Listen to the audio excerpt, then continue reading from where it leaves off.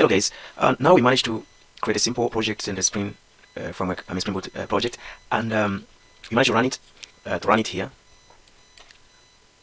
and we see it's running on port 8080, and it's Tomcat, I mean it's uh, embedded Tomcat on Spring Boot. Uh, now the problem is that if we want to run on terminal, when I want to run on terminal, I'm getting this kind of error, which is saying the build has failed, and in one second. So an exception is saying the task run not found in a project example. That means the the task run uh, so I'm trying to, to use the task run in a Gradle, and it seems that it doesn't exist in, in my project. So I'll show you what I mean.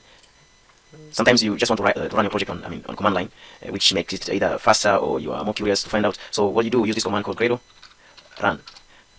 So this is what we get. So if in case you have this problem, the only way you can solve this problem, then we have to um, we have to add um, the ID, which ID application ID application, and then we also have create the main the main class name and uh, we put at the end of this script. So how we do it just that main class name and uh, this is going to be a string and it is equal to your main class name which is this one application. So how you type it you have to type uh, from your package which is if you might, you might guess you have subcom dot example example and then dot application which is the name of the class. So that's going to depend on yourself which package you put here. So this you have to package. If you don't have a package then you have to put this application which is the name of this class here.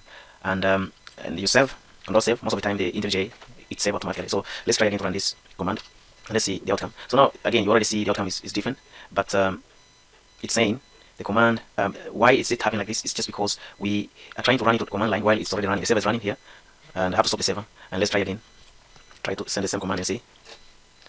So this time I expect that it has been to run. Yeah now you see the spring logo and it's already running. So if we if we go to the browser and run this then we should expect the result which is hello Gradle and for those of you didn't follow me how on the previous example I mean exercise we were trying to see why the Gradle uh, version was different even though we have added the environment variable on our system which was 6.9 but it was showing the current it was failing showing that the current Gradle was another Gradle which is the one that the Intel ID has added on our project. So in case you have that problem you have to delete this one and then you force which means you have to uh, to go to um, this Gradle folder here and then you go to the Gradle wrapper properties and then you change this directory. And most of the time you just change this end and you just go to the internet and check the, uh, the version you want to uh, the, the operation to use and then use this change this version here to .z zip file. And then when you try then it's going to automatically download this from this link here.